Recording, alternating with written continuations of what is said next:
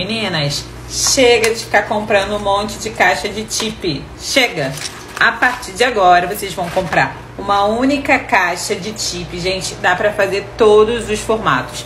Alma de square, bailarina e estileto. Eu vou ensinar para vocês como é que vocês fazem isso. Então, pega a dica e não sai daí, hein? Meninas, vocês vão precisar de uma caixa de tip quadrada extra longa que eu uso, um cortador, uma tesourinha e uma lixa, tá? Somente isso. Primeiro formato para vocês será estileto. Eu começo amassando a minha tip ao meio, botando pontinha com pontinha, tá? Essa tip da Faneis eu gosto bastante porque ela é bem flexível, tá?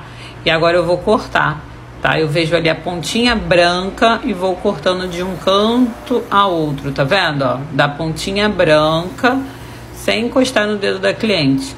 E agora eu vou fazer o lixamento nas laterais, porque agora tá facinho, né? O formato já tá pronto. Vou lixando, lixando até eu ver que o formato ficou perfeito, tá, meninas? Lixo em cima para tirar a marcação da tip e também a, a, o degrau. Vamos lá, meninas, formato bailarina. Vou fazer a mesma coisa, vou amassar a tip no meio.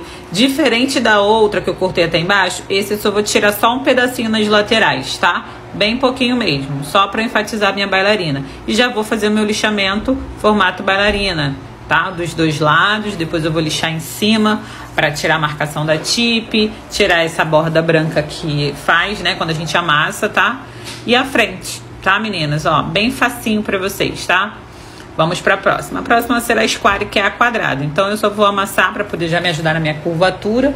Vou lixar a frente, na lateral e em cima. Bem facinho também, porque ela já está nesse formato, não é verdade? Então eu lixo.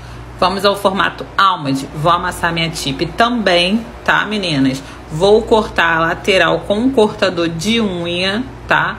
Então eu corto e bem vesadinho, tá vendo o cortador? Vou cortando e agora é só fazer o lixamento. Vou lixando, subindo a minha mão. E a frente, gente, vou fazer isso dos dois lados. E a frente eu vou lixar arredondando. Depois eu vou lixar por cima e vou tirar a minha marcaçãozinha aí. E tá pronta a minha alma de, tá, gente?